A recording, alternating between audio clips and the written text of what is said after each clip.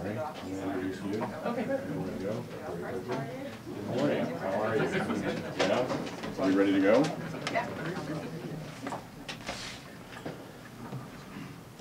Good morning. Thank you for joining us today. I'm David Lashway, and I lead Baker McKenzie's cybersecurity global practice. Delighted to have you all with us today. Good morning, Madam President. Thank you for joining us. Uh, Damon Wilson and the folks from the Atlantic Council, thank you for hosting today with us.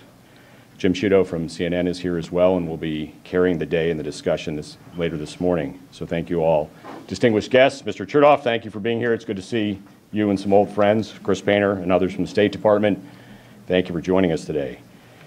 Yesterday, Madam President, while at the White House, you reminded us of the blue, black, and white of your flag and that you will always remember that it flew in, here in America when it could not fly in Estonia during 50 years of the 100 years that we celebrate during your visit today due to occupation. You reminded us as well of our partnership to confront challenges and that that partnership is based upon three common things. One, an understanding. Two, the rule of law. And three, and perhaps most importantly, common beliefs. You said that we form the axis of the good based upon these. We are proud to fly the blue, black, and white of your flag here today, and we welcome you to the discussion to advance our common beliefs and understanding around cybersecurity and other security risks, both in Estonia, in Europe more generally, and here in the United States. Marie Under, perhaps the most notable 20th century Estonian poet, who lived during Soviet occupation and wrote of her experience. In her famous poem, Night, wrote, In hand in hand, we walk uphill together. I hope that through the discussion today, we will go hand in hand through this discussion and through what will confront us in cyber the days ahead. And finally, as we were just discussing this morning, and as you mentioned yesterday, you reminded us Americans to reflect on the words that are carved in the granite monuments around our mall. That caused me to pause this morning and think for a moment of all the different statements that are carved across the mall that we look out at today. And on the 50th anniversary of Martin Luther King's death, no statement came to mind more than this perhaps one of the great American poets, in Mr. King. If we are to have peace on earth, he said, our loyalties must transcend our race, our tribe, our class, and our nation. And this makes us better, and in common, we must develop a world perspective. Thank you for sharing your perspective today. Thank you for joining us, and we look forward to the discussion.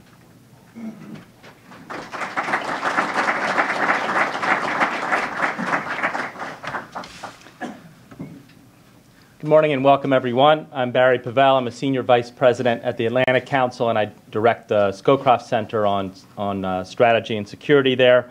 On behalf of the council, I'm really honored to, um, to welcome you to our conversation with, with President Kaljulaid of the Republic of Estonia, especially since this is her first public event here in Washington, D.C.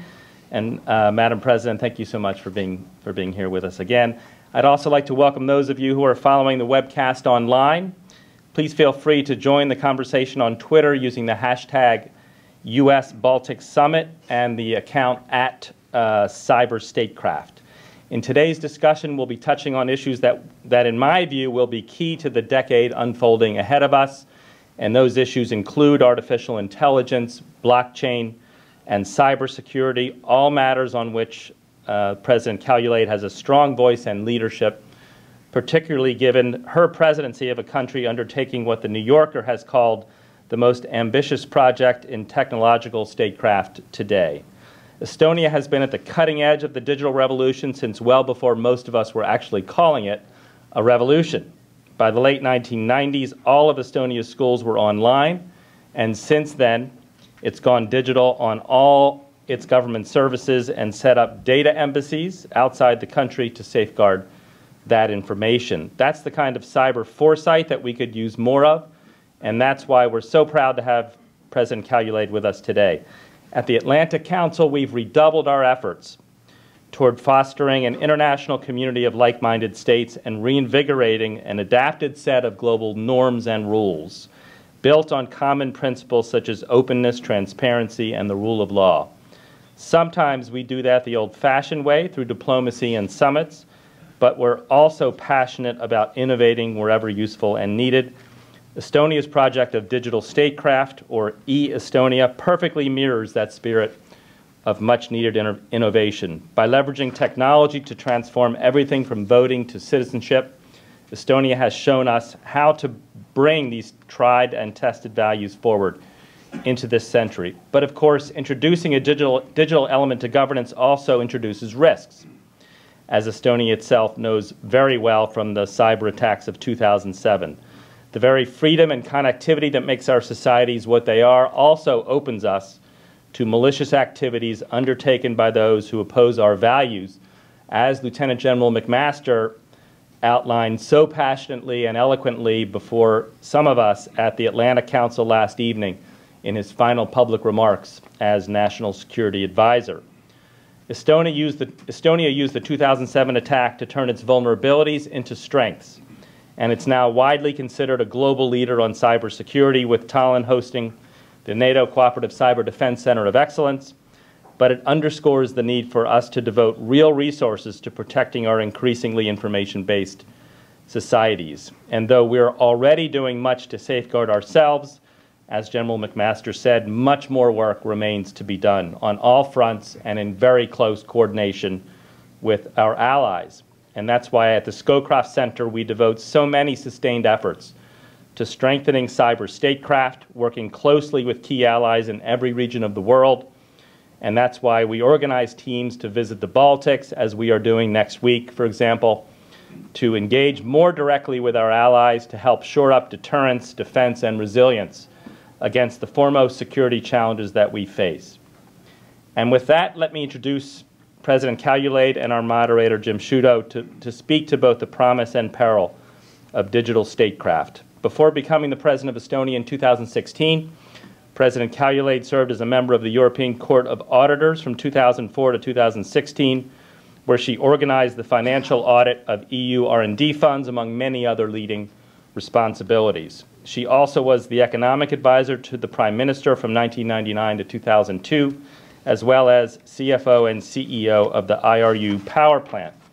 Leading our discussion today will be Jim Sciutto, Chief National Security Correspondent of CNN, most importantly, a Villanova fan, for those of us from that, that area. Um, with his extensive experience reporting overseas across Asia, Europe, and the Middle East, we couldn't have asked for a better guide for this conversation. He was the only American journalist to embed with U.S. Special Forces during the Iraq invasion. He has reported undercover from inside Myanmar, and he reported Iran's first reaction to President Obama's 2014 State of the Union remarks. Before we turn to Jim and President Kaljulaid, I wanted to thank Baker and McKenzie for hosting us today. Thanks very much. Uh, thanks, David Lashway, partner here at the firm, also for his continuous support of our cyber efforts at the Atlantic Council. And now let's get to the good stuff. Thanks again, and I'll hand it over to our esteemed panelists. Thank you very much.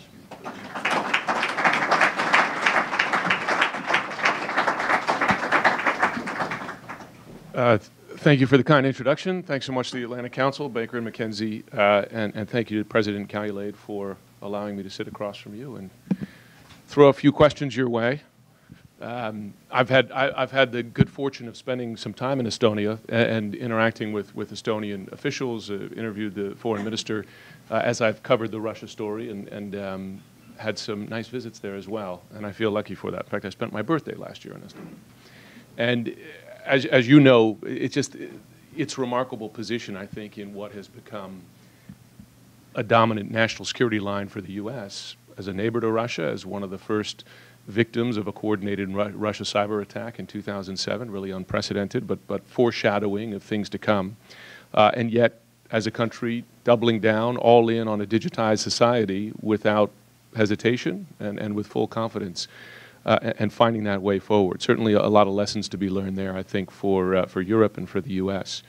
Um, subject today, of course, artificial intelligence, et cetera. I do want to start, if I can, just in light of your visit here and your time yesterday in the White House. Uh, I'm curious, do, do you have confidence that the U.S. is a solid partner for you as you face uh, challenges from Russia, particularly cyber challenges from Russia? Yes, uh, I have to say I have great confidence in uh, this administration and in American people. And uh, as I also said yesterday, this confidence is not unfounded. It has foundation in, uh, in this common shared value base, which we all have. And if you don't diverge from that, then uh, I think uh, it's pretty obvious that we can have confidence. And I have to say that we've had really good cooperation with this administration since it took office. Uh, high-level visits, physical visits, uh, and uh, lots of discussions also on the side. Uh, also, well, playing the same hand on in the discussion of, of for example, on nuclear nuclear weapons in 21st century, considering also technological aspects in Munich Security Conference with your now Vice Minister Foreign Affairs, etc. So the contacts are, are close and numerous, and, uh, and, this gives us confidence to say this, and uh, it doesn't sound hollow coming from me. Um, if I could start on, I, I, want to get to artificial intelligence very quickly, but just to, just on cyber to describe to folks one thing that struck me when I was in Estonia is just the frequency of cyber attacks. This is this is a daily event, many times a day. These are the numbers of, of the way it works, right? It doesn't come in, you know, in pairs or in dozens. It comes constantly. Um, how is it today? And, and, and where are the attacks coming from? How aggressive are they? And how do you push back? First of all, just because you haven't seen this in the United States, it doesn't matter. That it doesn't matter. They exist, and I'm quite sure you also have the systems where these attacks are logged and analyzed, as we also uh, learned uh, that you have analyzed and found that quite a number of them actually came from Russia. So nothing unique in Estonia, and uh, this is how it is. In most of the cases, you don't analyze. You just deter and uh, this attack and neutralize it, but you don't analyze where it comes from because they are well, very numerous. But in case you see a pattern, or in case you see that somebody is going after vital systems, then of course you would analyze also where they uh, where they came from. But in most of the cases, it simply doesn't uh, give, have any economic or political sense to uh, to deal with this because attribution will be difficult anyway and if you do not have a particular reason to, uh, to try to understand why this system or when, then you just don't go after it. It's, it's just how cyber world works. In, and, uh, and I don't think that uh, it will ever change. This is how it is forever. The, the outgoing National Security Advisor, H.R. McMaster, said last night that, and he's not alone in this, you've heard this from many members of the administration, but also from folks outside, that the U.S. and the West have not yet imposed sufficient costs on Russia to deter activity, not just cyber activity, other activity in Ukraine, etc. Do you agree with that? I think there is considerable space to uh, uh, leave through what else we could do, and uh, which has come to many people's mind is to go after the Russian money, corrupt money, kleptocracy, to go after something which will really hurt. Also, after Ukraine happened, the discussion was whether or not to throw uh, Russia out of the uh, of the uh, international money transfer schemes another option, for example. But I think uh, reactions need to be uh, proportionate, and, and, meanwhile, it's also wise to say that we keep talking as well. But talking always needs to take place from the point of strength. This we must never forget as well. And our strength, this comes from only one source. This is the unit. And we know and we see and we observe it uh, very often that, uh, for example, when uh, there are attempts to break our front, let's say, on sanctions on Ukraine, then there is quite uh, clever, uh, well, quite clever Russian presence trying to understand where these cracks are appearing and, and trying to uh, use these cracks immediately. And I would even say that um, quite often Russia goes where it thinks that this uh, common resolve uh, may be neglecting this part of Europe or, uh, or region. I think this happened in Georgia, I think this happened in Ukraine these countries were trying and, uh, and were trying, trying to come closer to Europe for some time, and uh, obviously Europe was slow to, uh, to provide clear roadmaps and uh, clear opportunities and possibilities on how to come closer, if not become members. So uh, we saw that uh, things went wrong. And it actually the same line in my mind reaches to Salisbury. Maybe there was an understanding that EU solidarity is broken because of Brexit. Well, nobody thought it isn't, and it never will be. Europe has a clever knack of never mixing different subjects. And uh, this is what, of course, we are doing here as well.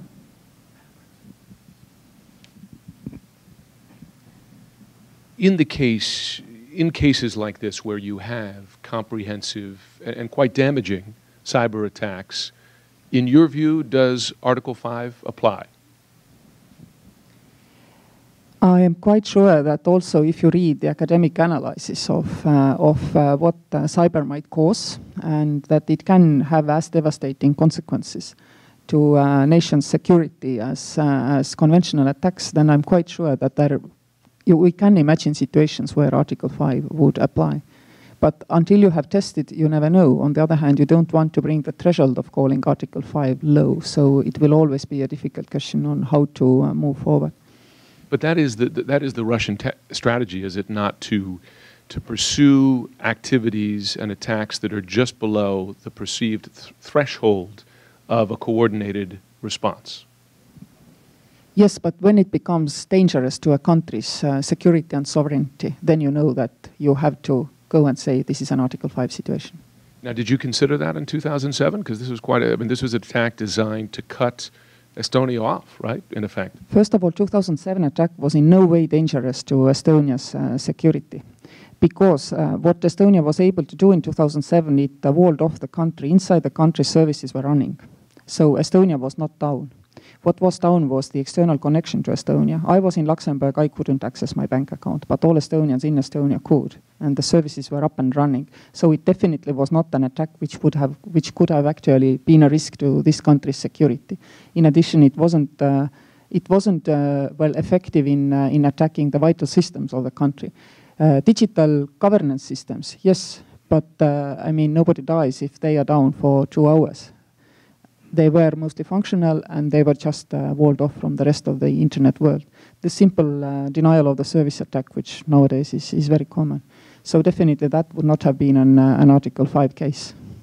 But if you think of the whole 2007 situation with Russia provoking also, uh, also uh, uh, well, people well, fighting on the streets for a couple of nights, etc. So you had you had a more dire situation than just a cyber attack, and you had to see all these facts together. There was a cyber attack combined with what else was going on in the country, and that is why the uh, European partners and allies also came out in strong support of Estonia, calling out that this is Russia.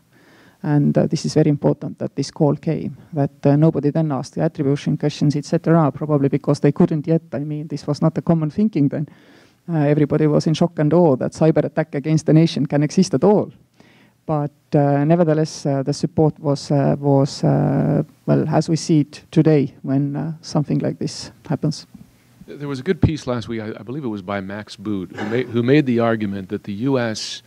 and NATO is in effect fighting the last war again, making that mistake of fighting the last war, that in this environment of hybrid warfare, like you experienced in, in, in 2007 and see elsewhere today, uh, that it's not about buying more littoral combat ships, right? That you know you need to focus on the right tools, whether they be offensive cyber weapons, etc. Do you have a concern that that that's the case? That that folks are looking backwards as opposed to forwards, especially with Estonia, that that by its very nature looks forward in terms of technology? Yes, but um, first of all, uh, just because you have new kinds of risk doesn't make the old kind of risks to, to disappear, unfortunately. Just ask the Ukraine, If it, if it were that, I would be extremely happy and uh, maybe even welcome these new risks which are geographically neutral, because then, of course, uh, our geopolitically seismic reason, region will not be any more geopolitically seismic, because globally we are and it's only partially a joke, but uh, if you think um, seriously where Russia is ahead of us, well, we know that NATO is stronger than Russia. But if you look at, let's say, uh, eastern uh, border of NATO and conventional capacities, then Russia has considerable might there. If you now think that you are, uh, you, you are seeing what is happening to your country's economy and technological development, because, uh, well, Russia is very proud that after Ukrainian sanctions and its own counter sanctions, by which Russia doesn't buy agricultural products anymore uh, from European market, that it is now an independent, uh, well, independently able to feed its own population. Then this is wonderful. You are a primary sector exporter and you are a great agrarian country, 21st century. Something's missing, technology is missing. Russia is losing out on technology development because of our sanctions, big time. I'm quite sure that if Georgia had never happened, Russia would be part of the Horizon 2020 European R&D program because Georgia, for example, is participating in that program. So they must see that uh, they're losing in their might. I mean, it's not so big country, it's not economically well off, and its prognosis is bad. So, and you still have some conventional advantages somewhere globally. I think this is particularly the time when you need to be vigilant in your analysis and in your response to be able to deter if there would be a sudden attempt to try to turn the tables. Therefore, we cannot neglect conventional risks, even if there are new risks. And uh, I think it's more true today than maybe it was, uh, let's say, 10 years ago. You, you raise a point, which is something of a contrarian point of view here in the U.S., that, that the perception that Russia is winning is misplaced, that in fact uh, they're paying a very high cost uh, in economic terms, technological terms.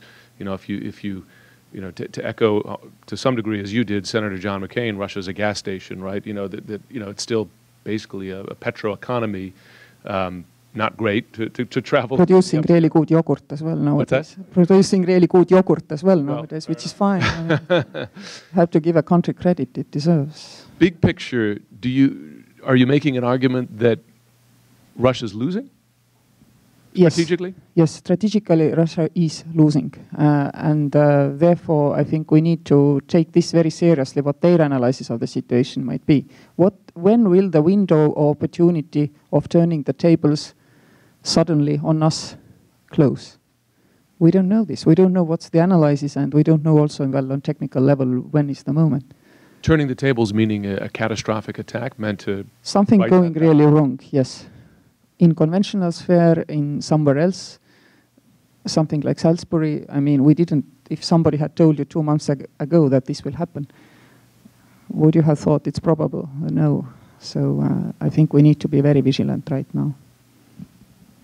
Do you do you envision that? Uh, again, I'm asking you to predict, which I know that no politician likes to do. But, but are, you, are you speaking in the cybersphere? Are you speaking in the kinetic sphere, or it could be a whole range? I'm speaking in cybersphere, and I think uh, Russia aside, we need to think much more seriously how we treat internationally uh, the risks stemming from uh, from the cyber and also from the fact that we have more and more self-learning systems. And also, I think we should think about uh, that maybe Elon Musk and Jaan Tallinn and others that they write about AI and they put the probability of having AI uh, at 50% at uh, 2050. Well, I take this with a pinch of salt because I have a degree in genetic engineering, and when I was studying in university in 90s, then everybody was sure that we will clone people by 2010, and we are very, very far from that. So I don't know whether we should take it seriously. But at least I know this, that we can create uh, systems which are self-learning and pretty autonomous, looking like AI to most people. So we should actually understand what new kinds of risks stem from that. And uh, I particularly love the, the example of an, uh, of an close to AI or even AI worm in somebody's nuclear system. Doesn't matter whose. It, uh, this, uh, this could be the system of an axis of good or an axis of bad. It Doesn't matter really. But imagine you have a worm and it's in somebody's system. And it's uh, self-learning and uh, we've sent it into the system thinking that we know what it will find as equipment, as software in that system. And then it finds something uh, unexpected. For example, somebody has taken a contaminated computer to the system, very common thing. Somebody read internet on the same computer, then connected it to some technical system. And this our AI little worm now reads this information. And uh, this changes our understanding because we thought it will only read and learn about the system. But he read a piece of news. And this piece of news said that United Nations getting ready to ban AI for military use. And this system is in the nuclear element. and it knows it is AI, and it knows the system where it is is military. What will happen? And it's not as sci science fiction as, as it sounds. Maybe this particular example still is. But I use it to explain that, I mean, we have loads of things which might come not necessarily from state and government actors. Artificial intelligence, as far as we see now, will not be created by a public actor. It will be created probably by somebody else. Where, we don't know.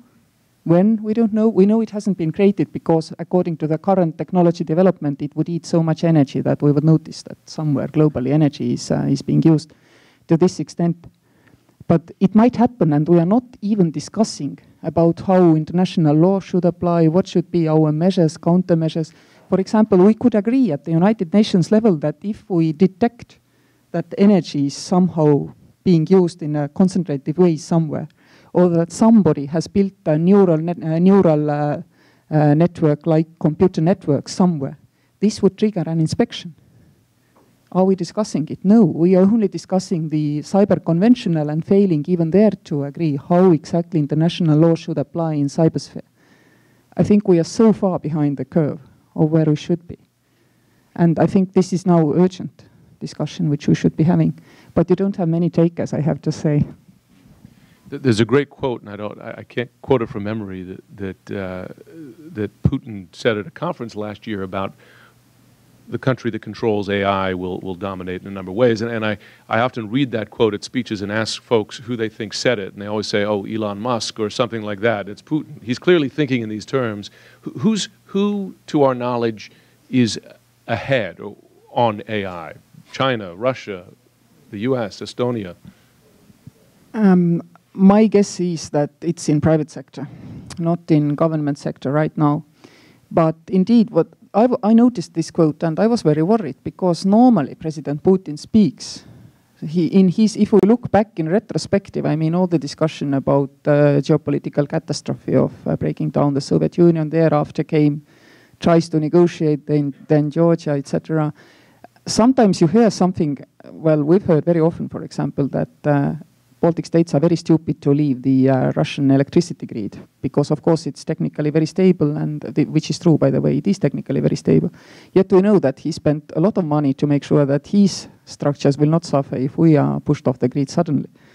Uh, right now, this is not still possible, but it is. So this makes us to work with European Commission to make sure that we could be uh, deconnected from uh, from that grid as quickly as possible and, uh, and connected to the uh, European electricity uh, grid, even if, I mean, economically it doesn't, well, make much sense to do this. But it's, it's clear that if you hear these things, you need to think about what that might mean. Similarly, there was a call for respect and then Salisbury.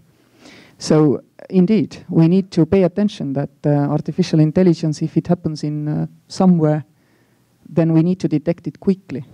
We need to detect it quickly especially in case it will be in the, on the axis of bad, not on the axis of good. But my guess is it will be private sector. So now I'm going to ask you to predict again. Uh, you, you, said that folks, you know, years ago predicted we'd already be cloning dogs and cats and human beings, and, and we're, we're not there yet. How many years or decades off do you think the breakthrough is? I cannot, I'm not a specialist in that field, but uh, looking at, again at this uh, benchmark of genetic engineering, then we cannot, uh, well, we can make bacteria with some characteristics which we wanted it to have. That's all. And we are eight years past the date we were supposed to clone human beings. So it might take time. But this doesn't change the fact that, I mean, autonomous systems, self-learning autonomous systems can mimic pretty closely something which is AI it will not be as, uh, as science fiction, but uh, it, it may be nevertheless as dangerous, almost as dangerous. It's just that it's easier to predict what it thinks, in, well, thinks in quotation marks, of course. But this example, what I came about the war in nuclear system, this doesn't need to be AI. It could be actually a, a well-learning uh, automated system just happening on the uh, wrong piece of information. My example was understandable for us but we are talking machines there. There might be other technical data which is not understandable for us right now here, which will actually push it off the course. And we need to be ready for these kind of developments. And, and self-learning systems like that exist today? Yes, we have self-learning systems playing really good uh, board games. We know that. Um, for a digitized economy like Estonia, uh, which has created, of course, many jobs and opportunities for its population.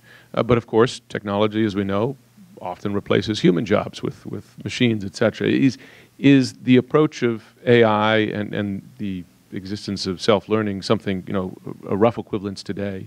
What does that do to the future of work?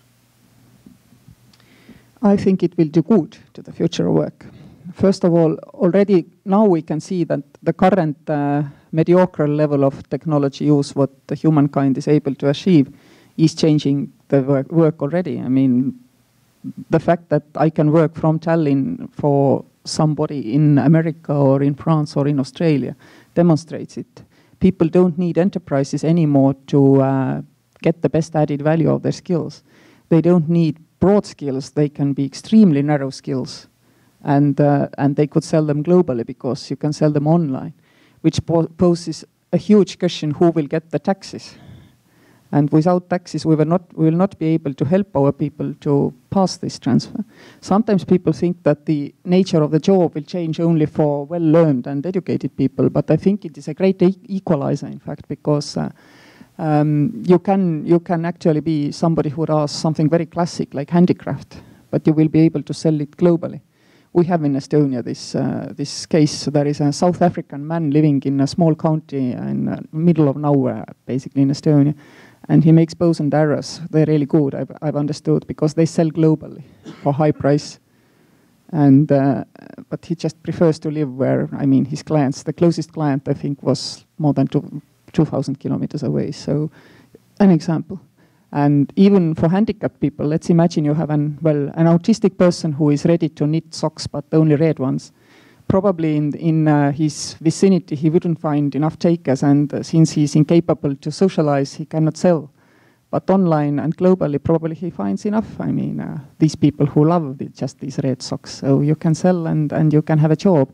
In previously, such a person would have been unemployed. So there are numerous ways of how uh, the uh, well the work is changing, and uh, and what I hate most is that uh, let's tax robots and pay subsistence fees to people. And it always takes me back to the change from agricultural economies to industrial. Uh, what if we had taxed tractors and paid subsistence fees to agricultural workers who lost their jobs? Would they have taken up industrial jobs? They wouldn't.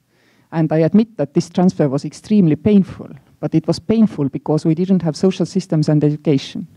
So now our difficult equation is actually how to keep our social systems and education going when the traditional tax system is obviously going with traditional work system. We gathering every morning into an enterprise and working the same enterprise, having a home address and demanding uh, services in one country globally. This is all going, and we'd better start talking about it right now. And uh, my understanding is that in the future, a country will be a hub for people, a dock where you kind of I've agreed with Estonia that it provides me social and educational services, my children online tutoring in Estonian language wherever they are globally, but it doesn't necessitate me to have a postal address in Estonia or something. It's a deal between me and this country. And the problem, of course, is that if we are lazy in this thinking, then um, either we will lose these services or they will all get privatized, which will actually lower their inclusivity, which might not be a problem for you here in America, but definitely is for us in Europe, because our people expect us to provide a kind of uh, school system, health system, healthcare system, which is available to more or less everybody. So we are much more afraid of, uh, of uh, these kind of developments, that we may lose our tax base. But if we are rigid and say to people that unless you do it the old-fashioned way, we don't provide you with services, then they will opt out and go private or simply go without and then try to opt in because only pension system penalizes late opt-in. Healthcare system does not penalize late opt-in in any way. Educational system for your children neither. I mean, we need to fi figure it out because otherwise we will lose the best proportion of earnings uh, tax-wise from the younger part of our population. And if you look globally, UK, Netherlands, Estonia, the number of independently working people is already radically growing. So I'm not talking about tomorrow. I'm talking today. And we need to uh, really think about globally and internationally what to do about it. This is happening as we have a we have a crisis of confidence in a whole host of institutions here in the U.S. I, am a member of the fake news media. Uh, you heard the president standing next to you make a reference to the fake news yesterday, but it, it, it's affecting our technology companies as well. I mean, Facebook's position in, in the wake of Russian interference in the election. Um, how much of a challenge is that? Do you see any similar loss of confidence or, or fear of big tech in Estonia? And if not, how, how have you avoided that? Uh, we fear Facebook as everybody else, of course. This is pretty obvious, but uh, the difference is we have alternatives to Facebook. We have secure internet communication channels as well. And uh, I've ran around the globe for a year and a half telling everybody that this is unfair that governments have left people and businesses in internet without governmental support. Because in the real world or analog world, you don't imagine that you cannot identify the other person with whom you are talking or interacting or contracting, at least at that point, at least you would ask for a passport. You don't board a plane without knowing that everybody has dutifully shown up their passports. So we know with whom we are flying all the time. For some reason, governments have failed to notice that their people and their businesses are in internet, and it's a big part of every transaction, and quite a lot of communication change is online. And I feel governments have exactly the same obligation uh, in the digital sphere to provide people with identification. Estonians have had this way of establishing safe corridors in internet to communicate because uh, using your digital identity also uh, well create an encrypted channel. So it is first safe and second you know with whom you're talking. And this kind of internet connection is not dangerous. So our people are not afraid of using, of using digital signatures, but of course they are also worried about somebody taking uh, their data on Facebook. And uh, also uh, we can differentiate. We know this. It's, it's weird, but uh, well, I know people have fun with, with this kind of things. For example, one of my friends had this, uh, somebody told that in Estonia there exists uh, well, an ear doctor, and his name is, is, is Dr. Ear. So he, she wanted to check whether this is really true, and she Googled, and for two months afterwards got all kinds of ear remedies, uh, hearing devices, these kind of advertisements. So people automatically assume that uh, this is okay for kind of consumer services, but for some reason they didn't realize that if this is going on, then of course this is going on also for political debate. And our people, since they can differentiate between safe and unsafe internet a little bit better, because we have safe one as well, and we are not forced to use the unsafe one if we don't want to, then I think they are a bit more resilient uh, than people elsewhere. Uh, yet they are afraid, of course, and they simply don't use Facebook in that case, of course, if they are afraid. Nobody would anyway contract over Facebook. I don't know, that would be weird. So, also, I've noticed that uh, in Estonia, people pay uh, for in internet if they have transacted and signed a contract. Then you don't use your credit card for payment, but you use safe channel. You go to your bank, log in online, and make an online payment. It doesn't take much longer, but is much safer. People prefer this and consider this safer than using credit cards online. But they do it because it's as comfortable. If it were more comfortable or not possible comfortably to pay, you'd need to walk to bank office, for example, then they would use credit cards. So it has to be, the, the good internet has to be comfortable and available. And it starts from identification. I cannot uh, repeat this uh, often enough. It's our obligation as, as governments to realize people have to have safe identification means in the internet sphere as they have in real life. You have the advantage of having a genetic engineering degree, so very aware of, of the health implications of a highly digitized society, particularly as it relates to privacy. Uh, in light of what you were just discussing, social media, et cetera, how do you, how do you handle those? Because, of course, no one is more concerned about their privacy than when it comes to, to health information. I think all Estonian politicians always ask this question from all audiences. Do you know who read your doctor's notes last? Was it your doctor or somebody you don't know? when we in Estonia, if somebody reads our, I don't know, tax declaration, eh, health information, you know. But uh, I mean, sometimes people think that Estonia is is a kind of wild world of world of internet. It isn't. It's actually much stronger regulated world of internet. Our government has given people numerous guarantees that they will know if somebody uh, looks around in their data. We also gather genetic information of our people. It's another legally permissive uh, environment result of Estonian way of having a state. We, we know much more uh, of our, our people's, well, genetic data, common markers for common illnesses. And we are enlarging this project, and, uh, and people are not afraid to participate because state has given guarantees about how this data is to be handled. Even your doctor wouldn't see it if you don't want it, but then probably you don't want first to have this, and this is of course voluntary whether you do or you don't. So we have Estonian Genome Foundation created at the same time as uh, more or less as the Digital Estonia. And it's very similar in, in what we did in digital. Uh, we probably have done other things, but they have not flied. This flied, it flied for short term from uh, 2000 to 2003. Uh, because you know we created this uh, environment where populational genetics was legal and it wasn't in most countries globally, it was in Iceland. Iceland was our only competitor, but luckily they have even tinier population. So to do population genetics in a population of 300,000 is, uh, is more of a joke than doing it in 1.3 million, which is still a joke, but something. So um, private companies flocked in and paid for founding Estonian Genome Foundation.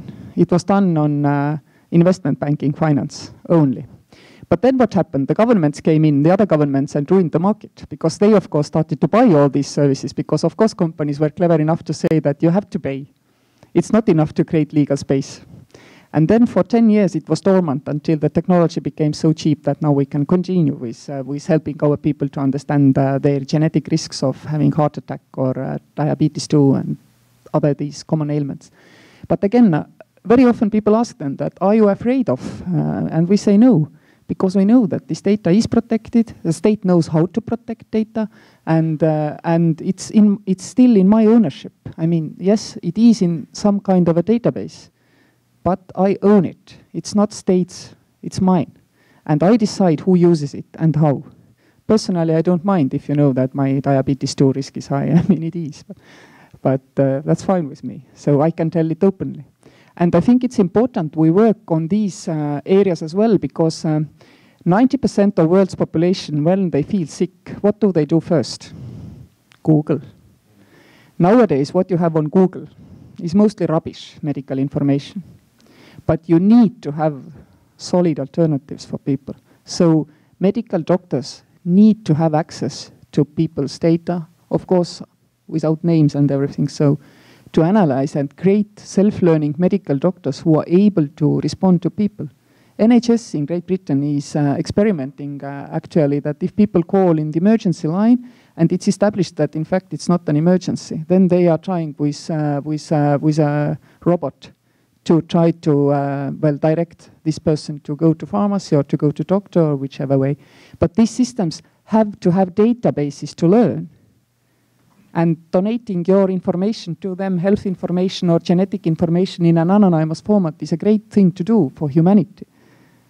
But it needs to be safe, and it can be safe. But, but how can you, I guess the issue is, even with regulation, the question becomes confidence, right? Uh, and confidence in security, because uh, I'm someone, and listen, I, I have such a baseline level of, of digital knowledge, but, but I have an assumption, and this is partly because of the work that I do, but I also I lived in China, I have assumption that there is no actual privacy because I've been a victim of, of three or four of the three or four biggest hacks. Uh, the OPM hack, the Anthem Healthcare uh, one, and I forget what the other one. I've lost track. I have so many free digital ID services paid for by various entities that mishandled my information. I, I don't even know. So how do you get those two to come together? Because you can have that knowledge, but without confidence, then, you know.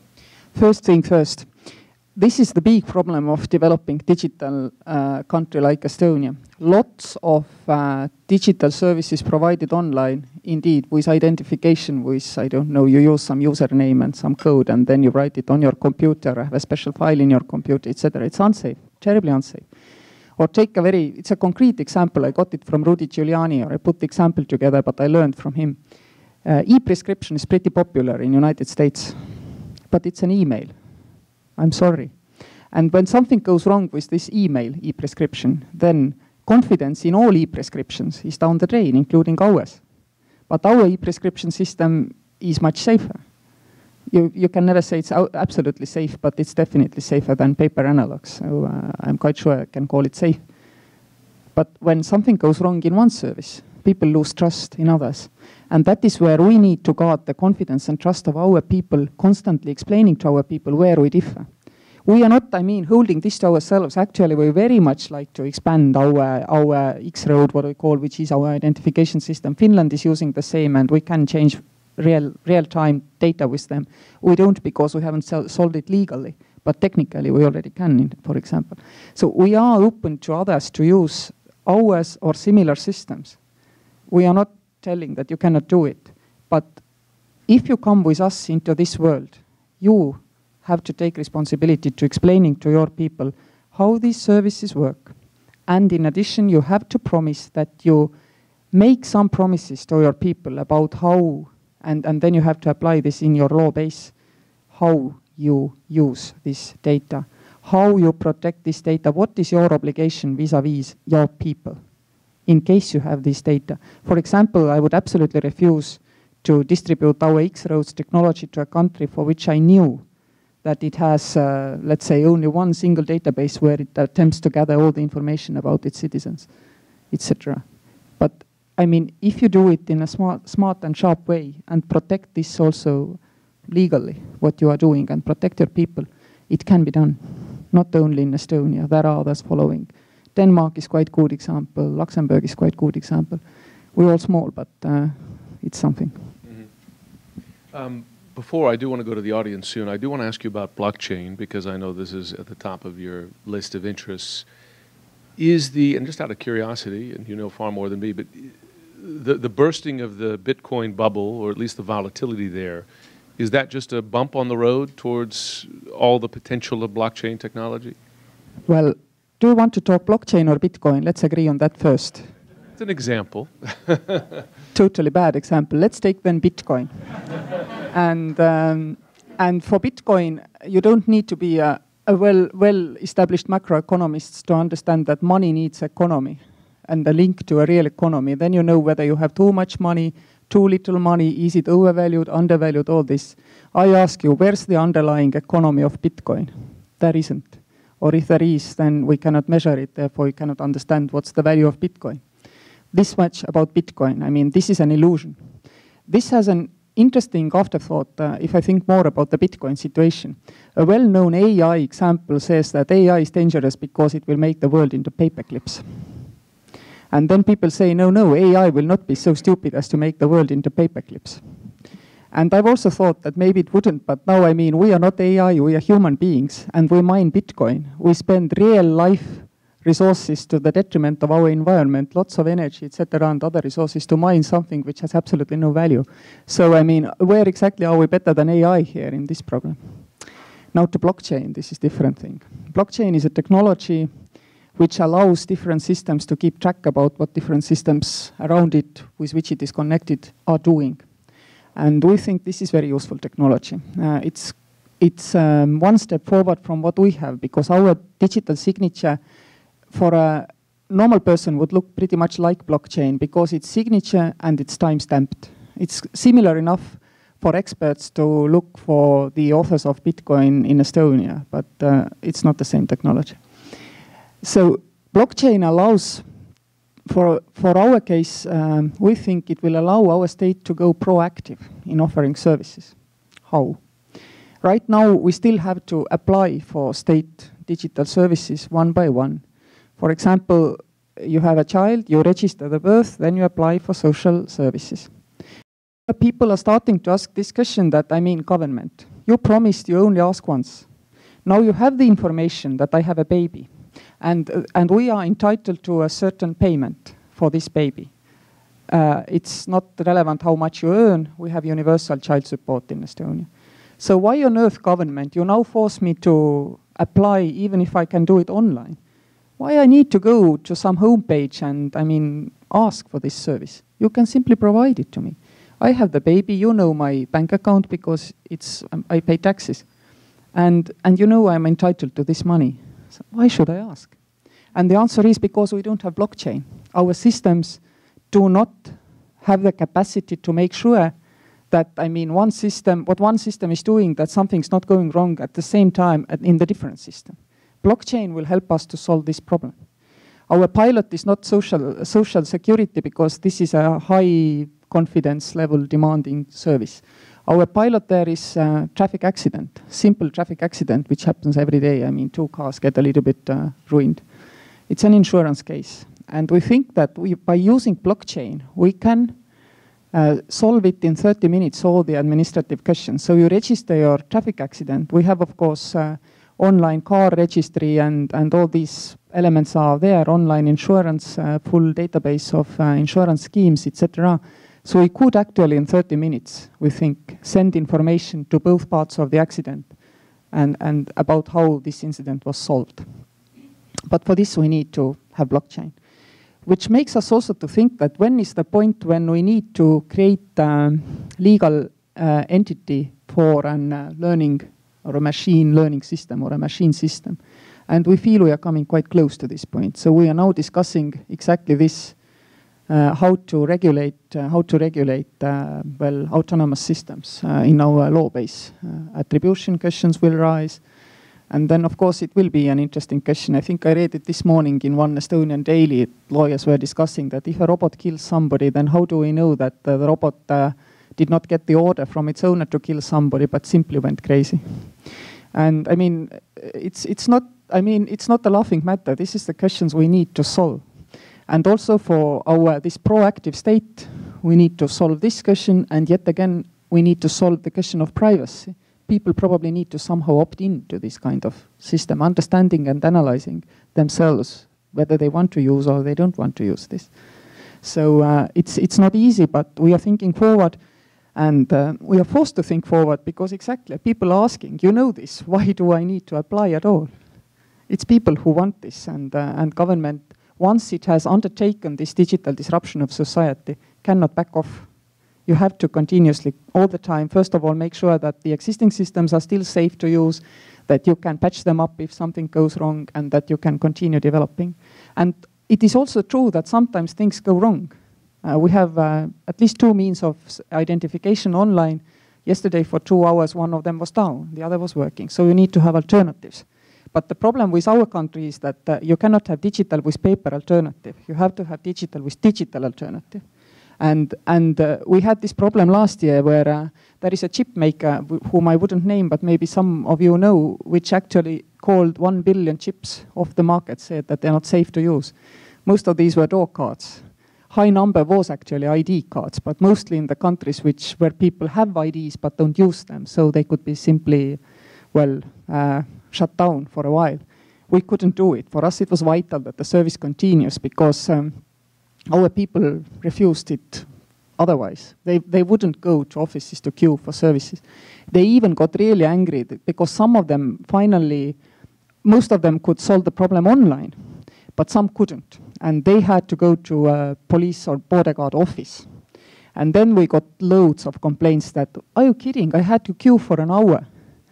And I mean, and then you explain to people that people in Western Europe normally take a day off to register their car.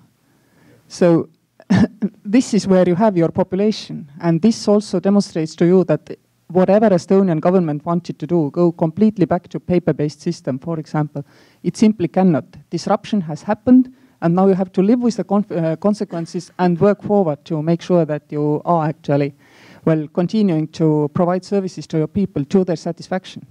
Which means that even if we are on the Mars already, our people want us to be even further. I mean, uh, so Earth for them is not the solution.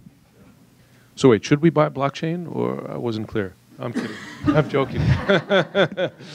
I got the answer loud and clear. Okay, so we're going to go to the to the assembled audience here for questions. I think we have about a half hour. Uh, gentleman in the back with his hand raised. And there are, yes, there are microphones. Please, please if you can, uh, identify yourself. And the other guidance I always give is uh, phrase it in a question rather than a statement or a speech. Michael Schrage with MIT. Estonia is a very small country, as you pointed out. China, huge country. United States, huge country. Key to making machine learning work is scale. You're a small, you're a scientist, you're from a small country, but you deal with giants and behemoths. What's the most important thing you've learned about managing scale in an environment where petabytes and zettabytes is the future of what you're talking mm -hmm. about? First thing to realize is indeed that scale-wise, um, we don't create technology, we use technology quite common in private sector globally.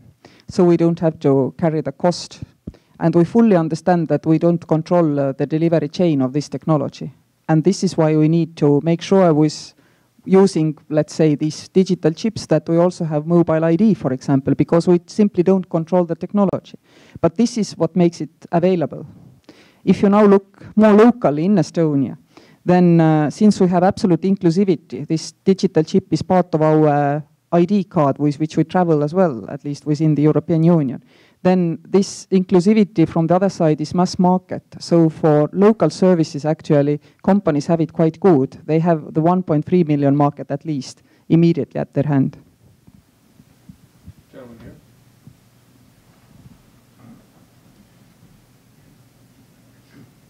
Uh, thank you for your comments today. Uh, two questions. One, are they related? One is recently Estonia joined a number of other countries, including the U.S., uh, in condemning the NotPetya uh, worm uh, and attributing it to Russia. Uh, this is always a delicate question when you have this kind of collective response. What you know, attribution at the end of the day is a, is a political issue. What level of confidence do you need, does Estonia need to join that kind of collective because it's more powerful? And then on Russia, what kinds of actions would you think would be effective in actually deterring their behavior in cyberspace? You said that we need to do more. McMaster said that last night. What kinds of things would actually work? In cyberspace, we need monitoring, and we need to agree that international monitoring is allowed and that there will be elements and events which will trigger international monitoring, very similarly as you have sensi with sensitive uh, nuclear uh, technology globally. We need to agree what it is. I gave you a few examples. Radical shift in energy consumption in some laboratory or somewhere is one thing. Second is now we have understood that we need to create uh, like neural uh, neuron uh, networks to be able to think of AI which will not consume so much energy that it will be dead immediately. These could be regulated. This is hardware after all. This could be regulated that you need to allow international monitoring. And, and this, uh, well, we need to bring in globally all countries because as I said, it's not anymore enough like in nuclear case that some countries agree and the rest will simply, well, accept because they don't have the weapons. It's, it's global and we don't know where it will, where it will happen. So this much for regulation. For confidence level, it's not uh, quantitative, it's always qualitative analysis and depends, well, it very much you have to go case by case. But it's interesting that we join because for us it's a solidarity act because NotPetya didn't pass in Estonia, only in one international company system which was not linked to Estonian system. Poor act of solidarity. Uh, yes, coming. Fran Burwell from the Atlantic Council. Um, two questions. First off, when you are thinking about how to deter or respond to an attack, does it matter if it is a nation state behind it or whether it is organized crime or is it the same response? Same. And okay. And uh, the other thing is that you raised the issue of taxes. Um, but your approach to tax sounds a little bit different from me from what has been proposed by some EU governments, including in terms of taxing digital enterprises uh, which, as you're well aware, some people here fear is aimed primarily at some large U.S. companies in Europe. Can you be a little bit more specific about where you think taxes should go to counter this, to deal with this new world? I can be a little bit more specific, fully aware that first of all, I'm in contra- I don't, I'm in contradiction with much of the European thinking plus OECD rules, everything. So we absolutely need to modify international space and we cannot go alone. So we need to first understand that, I mean, we have this problem and then we need to start seeking solutions. And uh, voluntary declaration of my liaison with any chosen state would be actually something which probably is, is, the, uh, is the solution to the problem. And I realize, I mean, that we are very far from, from getting there. Meanwhile, Europe is doing what always you do in these kind of systems. You apply a patch and then you see what you can do to solve, uh, solve the problem as it is. And I think applying patches meanwhile to make sure that the society is at least accepting that, uh, I mean, we do need to tax differently just because internet exists is, is a step in right direction. Of course, it can be inhibitive to, uh, to some investment and so on, and I'm not necessarily supporting it, but I see where it comes from politically standing in the back. Uh, I'm Basil Scarlis. I've been involved in foreign affairs. And I have a question on sanctions.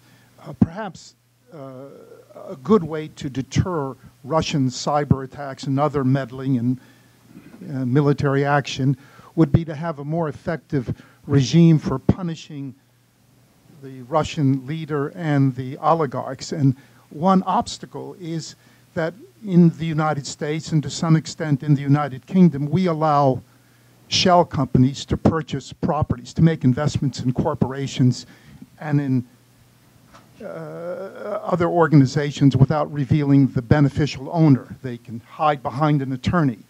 Uh, the question I have is, do you think it would be much more effective to have targeted sanctions, especially if we could get Congress to pass appropriate legislation?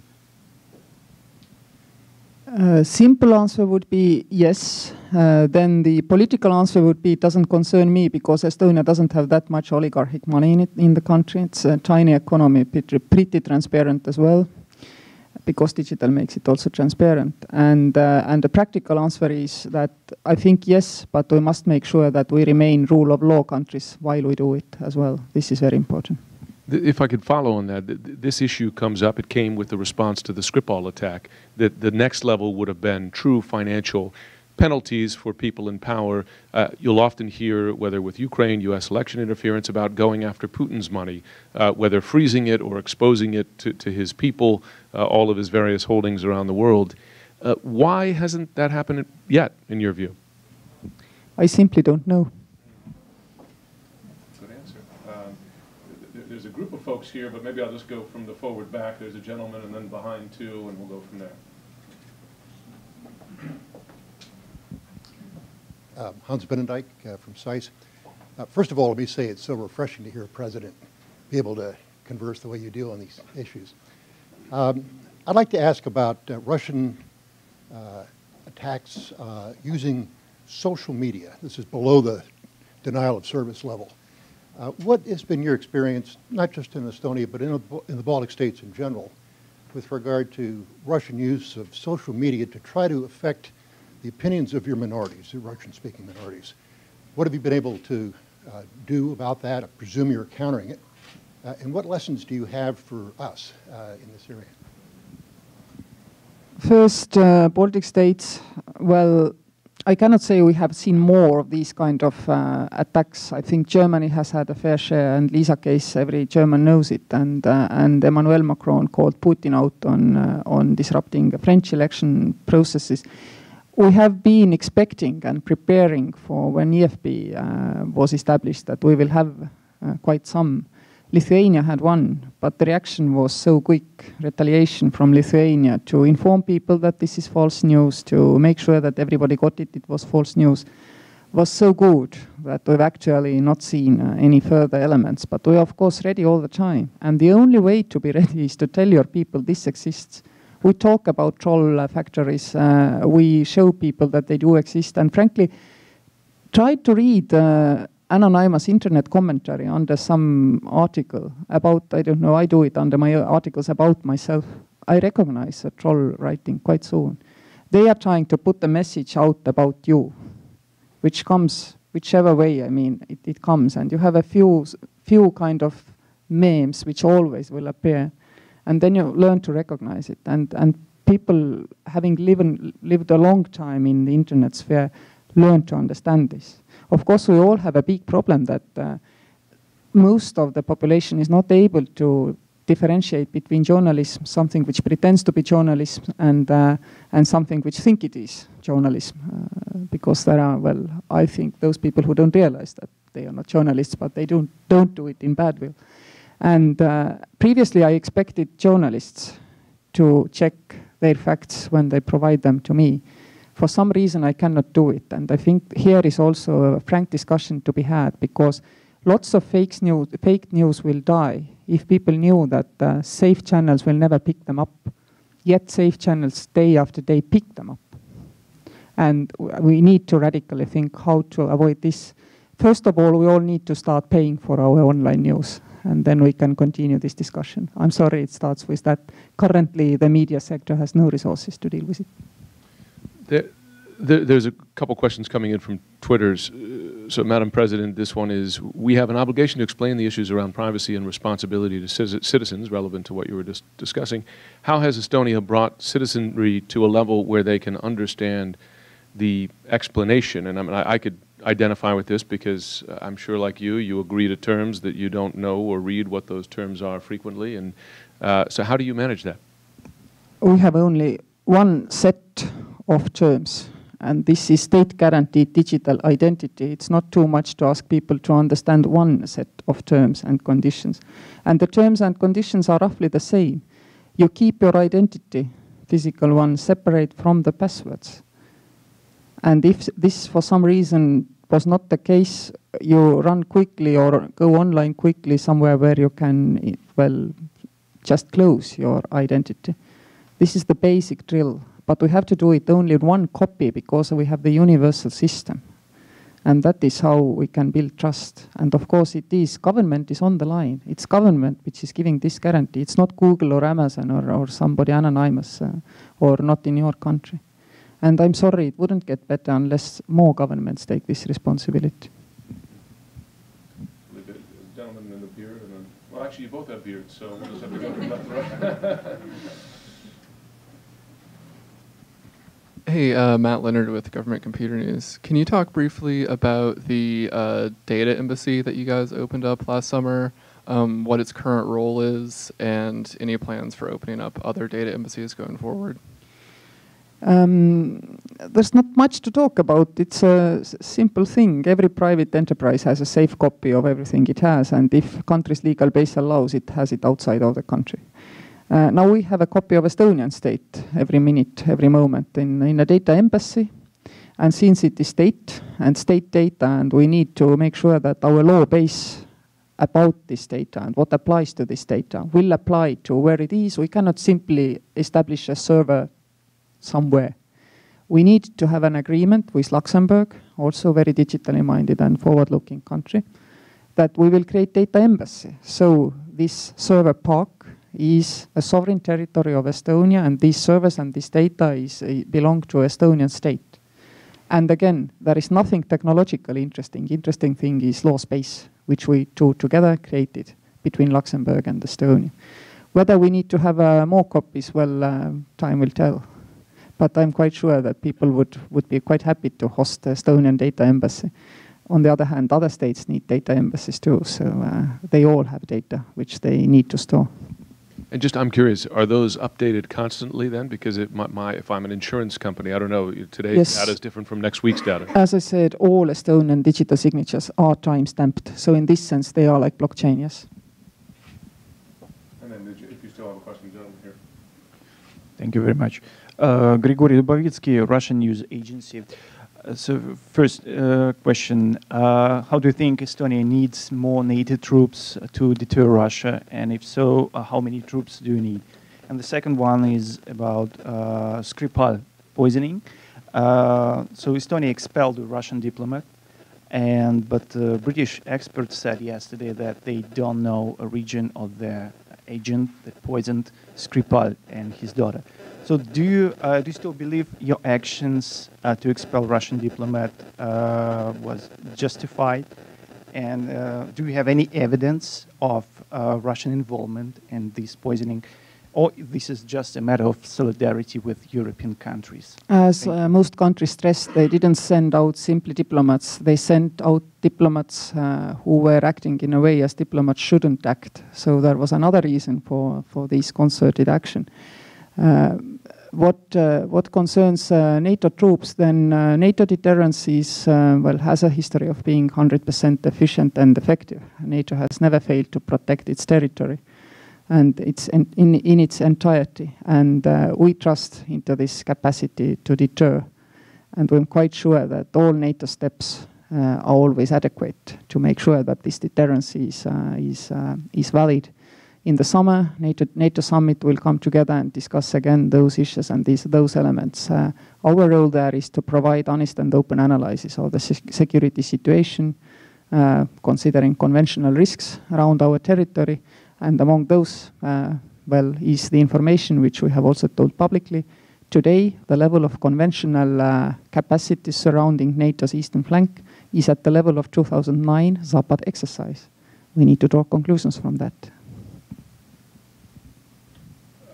In the far back here. Hi. Um, so I've read that there are uh, efforts to use blockchain technology in order to, um, for example, in the Estonian stock exchange, to make voting easier and uh, more secure and uh, like it, you know, immutable ledger, all that. Uh, just you know, it's distributed. Um, there's also efforts in Australia to a company called MyVote, I think, um, to utilize uh, the you know relatively secure and distributed immutable ledger to um, help voting. And I've also heard the idea for voter registries. So I'm just curious: um, is Estonia um, considering using blockchain for um, voter database or uh, yeah, voter registry databases, um, or um, e-voting, like direct e-voting itself for candidates, or for referendums at the local level or at the larger level. because I've, I've heard that uh, it's an interesting idea, and uh, Estonia seems to be a little bit on the cutting edge of using those technologies. So, yeah, just um, uh, blockchain in voting systems, basically, is the question. Um, basically, we have e-voting, and this system is tried and tested and free for everybody to try and hack. And voting is the highest confidence level digital service. So you change your voting technology only when you have tried and tested the new technology developments. And you have taught your people that this technology is safe on lower confidence level services voting should be the last which will shift uh, technology. Once you already have an established system of uh, secure voting, which we have. So uh, I predict that uh, all other Estonian public services will be blockchain based before our e-voting system will change. And I always tell to other countries, some, some countries would say, let's start from e-voting. And I always say that's terribly bad idea. Start from school applications or something really, well, low, low worry services never start from e-voting. You have to teach your population cyber hygiene first. You have to teach them to trust the system, and only then you should apply. Uh, you should try to to uh, apply this technology to high confidence level services like voting. On the other hand, sometimes we get discussion that e-voting must be terribly unsafe, and it comes from people who vote by post. So uh, it beats me how discussion can come up, but it does still come up. Well, it, it's a very common fear here, though. I think uh, you would, I, I can't imagine, a, and of course it's run by states here, but I can't imagine a state legislature who'd push hard for it today because uh, there is that lack of confidence. Um, it, question from Twitter here. Madam President, you speak about the need for government mandated digital identity. Many people are concerned that this gives too much power to governments. Do you see a need for anonymous transactions, and if so, in what cases? Well, I'm in my character, I'm a simple housewife-ish politician, and, and this philosophical question has been bothering me a long time now. Why people in free world trust their banks and Google and Amazon, but don't trust their government? And I don't, I don't know, know the answer, but I think we need to have some really good philosophers and, and social scientists analyzing this question. It's not technology what they are mistrusting. They are not trusting for some reason their government. I don't know why. It may be different in every society. There may be similarities. I come from a society where people trust government in this sense. They don't trust it for, I don't know, having it, having a good tax system or actually our people are very, very critical about our, our government. It's a national tradition to think we are badly run country. Uh, I'm not joking. I mean, in 1943, the uh, chairman of the uh, Bank of England, uh, Lord Wedgwood, he said that uh, Estonia was the best run country in Northern Europe. And then one of our politicians said that the other diplomats told him that, and it's astonishing how little your people appreciate it. It's still the same, but they trust government when government provides digital services. Uh, there's a gentleman here along the aisle, and then we'll go to the back. And I think we're getting down to probably the last question or two. All right, thank you. Uh, Jonathan Lichman from the Providence Group. You've mentioned a couple of um, times about educating the public, cyber hygiene. And I was wondering if you could tell us a little bit about what Estonia does with respect to public education on cybersecurity and public information uh, in terms of making sure that it's both uh, effective and it reaches everyone? Well, teaching hygiene is not as effective as, I don't know, applying some social services. It never will be, because if you think about when we taught people simple hygiene, it was also a lengthy process, well, which gradually reached our people's brains that you have to wash hands, otherwise you will fall sick, or you have to use toilets because it's not hygienic to just go to the wood. And it took us time. But I think we have nowadays much better communication means to teach our people cyber hygiene. And the truth is, we have to start from this, and many people haven't done it. Technology will not solve it. There will never be a technology which will be able to uh, uh, cover for all human errors. The only way is to tell people that you are responsible. And the way to do it is education. I mean, you have to teach people at school about the risks of internet. We have web police which goes around the schools and teaches children. And it also teaches them that it's just, I mean, if it's not nice to be rude to your, well, the other kids in the class in real life, it's as rude in internet, etc. It starts from this low level thing. On the other hand, I recognize that most countries are now in bigger difficulty than Estonia because we started teaching cyber hygiene at the turn of the century. And then the risk was some virus and you just downloaded Kaspersky or something else uh, and, and then it was cleared. Now you have to jump into Internet of Things. Yet saying that it's impossible doesn't, I mean, doesn't solve the problem. So we have to try. And I think it has to go down to kindergarten and primary education, this cyber hygiene teaching.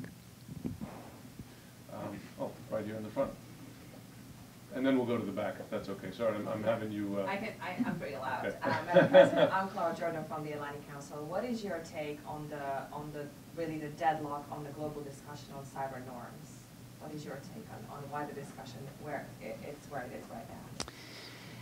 I'm disappointed that the process in United Nations fell through, and uh, I'm quite sure that we need to revive it. Uh, Estonia, among other things, have decided to run for United Nations Security Council, and we are in the active phase of campaign. And whether we win or we lose, this is uh, in our talking points about uh, discussing global security. New Zealand took uh, climate to the Security Council. We will take digital to the Security Council when uh, when we are elected, and we hope we will be. This is part of our platform, definitely, and we need to continue. There was a working group. Marina Kaljurand from Estonia was uh, was uh, was responsible uh, for that work as well, and and we were deeply disappointed when this got stalled. But the problem has not gone away. uh, in the back here. Uh, Madam President, uh, Franak Viačorka, Broadcasting Board of Governors. Uh, in this city, there is ongoing discussion how to counter uh, Russian propaganda, Sputnik RT.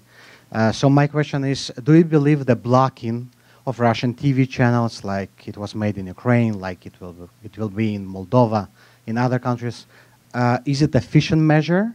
Uh, and the second question, do you think, is it a good time for now especially now for Western countries, United States, European Union, to create, uh, recreate, revive uh, such broadcasters like Voice of America, RFERL in Baltic states or Central European countries. Thank you.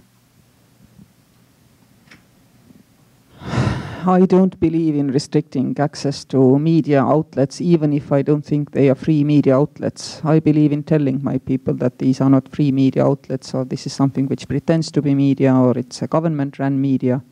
And uh, we in Estonia, we do not restrict access to this media. Yet we discuss these these channels, and uh, and uh, everybody is free to choose whether, for example, to talk to them and to how to react to them, but uh, it needs to be known, and this is important. But uh, we need to not only think in the terms of Russia here. I think it would help everybody in this discussion to realize that uh, the sources of fake news are numerous, actually. I mean, um, I'm, I'm pretty tough on Russia, but uh, I mean, sometimes I feel that people attribute all the problems in the global world to Russia fake news can come from everywhere. There are various reasons for producing fake news, including somebody may simply want to sell their products and, uh, and do away with somebody else's. I don't know. Somebody could say that ASICS, uh, ASICS uh, running gear is, is dangerous to your legs, and the doctors have an, an analyzed and realized that because the first and the, and the back uh, kind of padding are separate, which is not the case for Nike running shoes, it's dangerous. Mm-hmm. So, I mean, we have to analyze this in general and need to teach our people how to check their facts. On the other hand, again, we need to get back a media space which we can trust somehow. Um, I think this, well, let's see. Maybe we have time for two more if they're quick. There's a lady here and then someone who I keep forgetting to go to in the way, way back. Thank you very much. Susan Ness, SAIS Center for Transatlantic Relations. Uh, we talked extensively about uh, the fake news issue. Uh, also, within the European Union, there are efforts underway uh, with respect to hate speech uh, to curtail that through government regulation. Uh, would like to know whether there is a major hate speech problem within Estonia, and if so, what role should government play in curtailing hate speech? Thank you. Uh, first of all, I don't sense that we have a big hate speech problem in Estonia. Second, I think that um, good habits is something which you shouldn't always try to write into the law text because if we do away with good habits and only go by law, then uh, we are not the humankind. We like it and we want it. So I don't believe in regulating everything. I think most people can recognize when it is hate speech. When, when it goes to the territory that considerable losses are occurred to the other party by, by something which has been said, then we have our court system which can provide and solve even in the current legal space for these cases. But I don't think that, uh, well, you should legislate something you cannot define really. So this will have to be the final one, and I can only see your hand, so I can't say, oh, there you are. Hi. Um, how do you, I mean, in terms of the ever evolving capabilities of AI, how long until you think machines will supplant the human workforce? Uh, what will the workforce do with their newfound time? And um, I guess that's the end of my question. I'm a politician, I'm not a clairvoyant. But uh, first of all, uh, we see already that uh, technology does not only take away jobs, but it creates uh, it as well. I gave you a few examples how I think that actually handicapped people, people with high high home uh, work burden, like women with small children, they actually are much freer to act in the new technology world uh, actively on the job market. So good things are happening, and they're happening also to people with limited educational skills. For example, traveling YouTuber may make quite good money, and it doesn't take a degree at all. So new jobs are coming. I don't know where, but the important thing is that we should actually support this change, not try to hold it back. I'm quite sure that in 15 years' time, in industry, all the things we need will be made with the same proportion of workforce, which is currently in agriculture, three to four percent of our workforce, not more. The rest will work elsewhere, and they will do something online. What exactly? Who knows? Some things we can see already, but I'm sure there will be much more new stuff emerging which we cannot imagine right now. At least I cannot. I have a, well, not very good imagination. Madam President, thank you very much. Just phenomenal discussion.